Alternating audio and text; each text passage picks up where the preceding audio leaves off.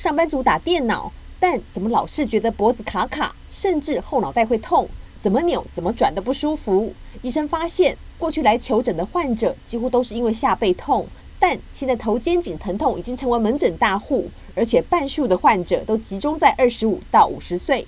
痛到肩膀，甚至痛到高肓。那呃，有的人会觉得他脖子容易落枕，哈，像这类病人，其实我就会提醒病人说，如果你觉得你已经有一两次、两三次以上，基本上你就小心你的肩颈的照顾需要加强。使用这一类三 C 产品呢，要注意你肩颈的姿势，这很重要啊。比如收下巴，尽量不要变成乌龟颈，哈。那那那个二十分钟的动动，温和的动动你脖子、肩膀，甚至于甩甩手。许多人感觉到疼痛时，会来个局部热敷、休息或按摩，但症状解除以后却又疏于预防，因此很多人常会反复发作，严重影响生活。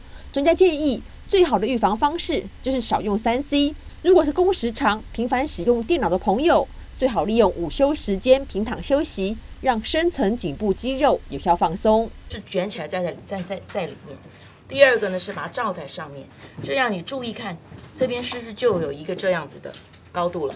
所以即使这样一个姿势呢，它也需要你颈部的某些肌肉支撑。头部就上颈部，头部的这里面肌肉很小，它本来的功能是负责微调。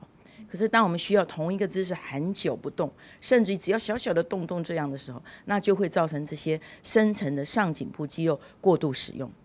医生提醒民众，若起床后发现颈部紧绷，或是扭转脖子会痛，就是身体已经在跟您发出 SOS。若症状持续两个礼拜以上，或影响到日常生活时，应该要尽快就医，以免症状恶化。